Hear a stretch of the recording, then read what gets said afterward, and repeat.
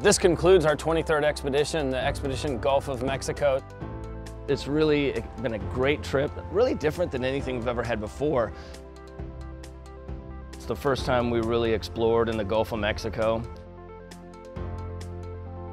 Really exciting to get the first blood sample and an ultrasound on a pregnant sandbar shark.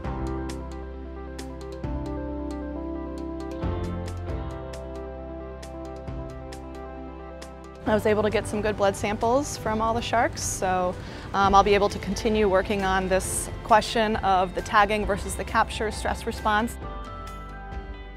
Most important thing is that we're really going to have the opportunity to look at how these animals are using some of these rigs to reef habitats and other types of habitats that are here in the Gulf of Mexico.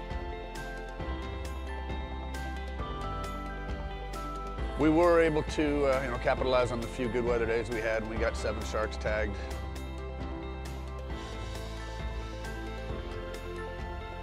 So a, a, great start to new exploration in the Gulf of Mexico. It's been a privilege to serve the people of the region, the scientists of the region. And uh, with that, we will officially conclude Expedition Gulf of Mexico, our 23rd expedition from around the world.